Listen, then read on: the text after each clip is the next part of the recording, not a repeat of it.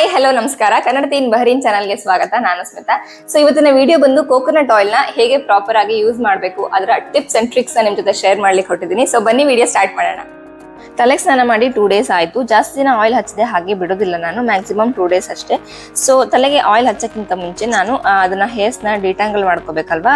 So ಅದಕ್ಕೆ ಸ್ವಲ್ಪ hair ಸಿರಮ್ನ ಯೂಸ್ ಮಾಡಿಕೊಂಡು ಹೇರ್ ಲೆಂತ್ಗೆಲ್ಲ ನೀಟಾಗಿ ಅಪ್ಲೈ ಮಾಡಿಕೊಂಡು ಸೊ ಈ ರೀತಿ ವೈಡ್ ಟೂತ್ ಇರ್ತಕ್ಕಂಥ ಕೋಂಬನ್ನ ಯೂಸ್ ಮಾಡಿ ನಾನು ಹೇರ್ಸ್ನೆಲ್ಲ ನೀಟಾಗಿ ಡಿಟ್ಯಾಂಗಲ್ ಮಾಡ್ಕೊಳ್ತೀನಿ. ಸೊ ಈ ಥರದ ಕೊಂಬ್ ಯೂಸ್ ಮಾಡೋದ್ರಿಂದ ಹೇರ್ ಫಾಲ್ ತುಂಬಾ ಕಡಿಮೆ ಆಗ್ತಾ ಹೋಗುತ್ತೆ.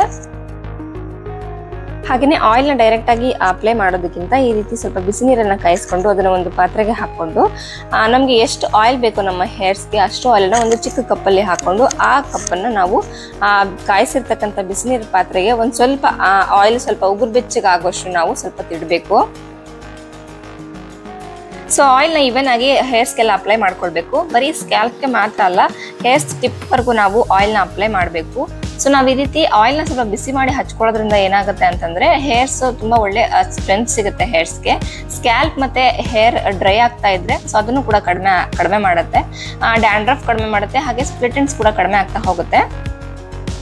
ಹಾಗೆಯೇ ಆಯಿಲ್ನ ಅಪ್ಲೈ ಮಾಡಿದ ನಂತರ ಟೂ ತ್ರೀ ಅವರ್ಸ್ ಆದರೂ ನಾವು ಬಿಡಲೇಬೇಕು. ಇಮಿಡಿಯೇಟ್ ಆಗಿ ತಲೆಗೆ ಸ್ನಾನ ಮಾಡೋದ್ರಿಂದ ಯಾವುದೇ ರೀತಿ ಬೆನಿಫಿಟ್ಸ್ ಸಿಗೋದಿಲ್ಲ. ಸೊ ನಿಮಗೆ ಸಾಧ್ಯ ಆದರೆ ಒನ್ ಡೇ ಬಿಡಿ. ಅದಕ್ಕಿಂತ ಜಾಸ್ತಿ ಬಿಟ್ಟರೆ ಏನಾಗುತ್ತೆ? ಡ್ಯಾಂಡ್ರಫ್ ಆಗೋ ಚಾನ್ಸಸ್ ಇರುತ್ತೆ. ವೀಕ್ಲಿ ಟೂ ಟೈಮ್ಸ್ ನಾವು ಆಯಿಲ್ ಅಪ್ಲೈ ಮಾಡಿ ಮಸಾಜ್ ಮಾಡ್ಕೊಳ್ಳೋದ್ರಿಂದ ಹೇರ್ ಗ್ರೋತ್ ತುಂಬಾ ಚೆನ್ನಾಗಾಗುತ್ತೆ. ಸೊ ಇದು ನನ್ನ ಪರ್ಸನಲ್ ಎಕ್ಸ್ಪೀರಿಯನ್ಸ್ ಸೊ ಆಯಿಲ್ನ ನೀಟಾಗಿ ಅಪ್ಲೈ ಮಾಡಿದ್ಮೇಲೆ ಟೂ ತ್ರೀ ಮಿನಿಟ್ಸ್ ಅಷ್ಟು ನಾವು ಚೆನ್ನಾಗಿ ನಮ್ಮ ಸ್ಕ್ಯಾಲ್ಪ್ನ ಮಸಾಜ್ ಮಾಡ್ಕೊಳ್ಬೇಕು. ಅದೇ ನೇಲ್ಸ್ನ ಟಚ್ ಮಾಡಬಾರ್ದು ಸ್ಕ್ಯಾಲ್ಪ್ಗೆ ಸೊ ಈ ರೀತಿ ಇನ್ವರ್ಸ್ ಮಸಾಜ್ ಮಾಡೋದ್ರಿಂದ ಸ್ಕ್ಯಾಲ್ಪ್ನಲ್ಲಿ ಬ್ಲಡ್ ಫ್ಲೋ ಇನ್ಕ್ರೀಸ್ ಆಗಿಬಿಟ್ಟು ಹೆಲ್ದಿ ಹೇರ್ ಗ್ರೋ ಆಗೋದಕ್ಕೆ ಹೆಲ್ಪ್ ಮಾಡುತ್ತೆ. ಇದೊಂದು ಇಂಪಾರ್ಟೆಂಟ್ ಟಿಪ್ ಅಂತಾನೆ ಹೇಳ್ಬೋದು. ಆಯಿಲ್ ಅಪ್ಲೈ ಮಾಡಿದ್ಮೇಲೆ ಇಮಿಡಿಯೇಟ್ ಆಗಿ ನಾವು ಹೇರ್ನ comb ಮಾಡಲೇಬಾರ್ದು. At least half an hour ಆದರೂ ಹಾಗೆ ಬಿಡಬೇಕು. ಬೇಕಾದರೆ ನೀವು ಹೇರ್ ಬನ್ ಆದರೂ ಮಾಡ್ಕೊಳ್ಳಿ ಅಥವಾ ಹೀಗೆ ಜಡೆ ಕೂಡ ಹಾಕ್ಕೊಳ್ಬೋದು